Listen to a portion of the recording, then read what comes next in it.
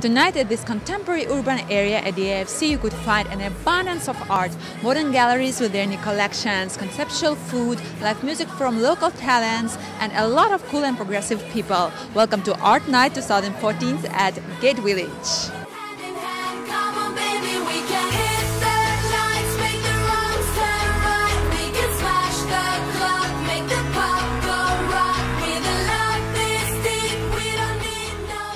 Last year, this gallery was the most popular at Art Night. This time, Opera Gallery showcases artworks of 21 leading contemporary and modern artists. And the name of this exhibition is Visions of Abstraction.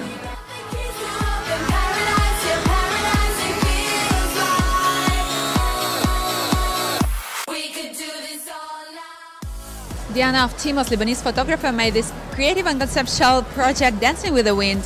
The photos out of portraits made in different places all over the world. Look, they're really dancing.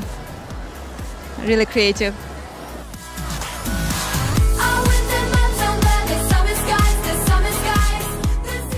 I come here every year.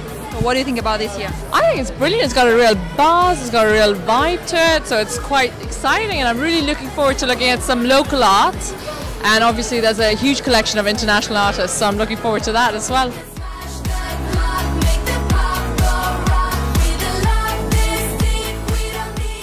The best three things that you like the most here at Art Night. First, the girls.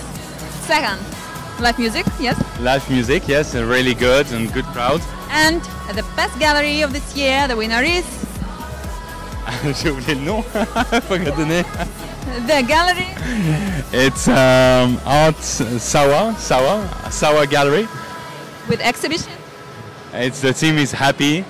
It's kind of a pop art and bright color and make you happy. That thing. Thank you.